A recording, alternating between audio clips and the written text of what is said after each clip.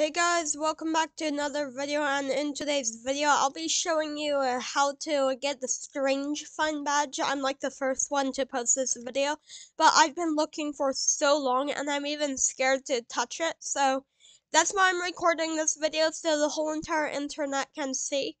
It's kind of unsettling, so I'm very scared to touch it, so, uh, I'm not even gonna look.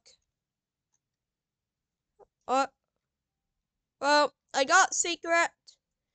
Um, so it says, please don't touch this thing. Thanks. So, um, I don't know what to do now.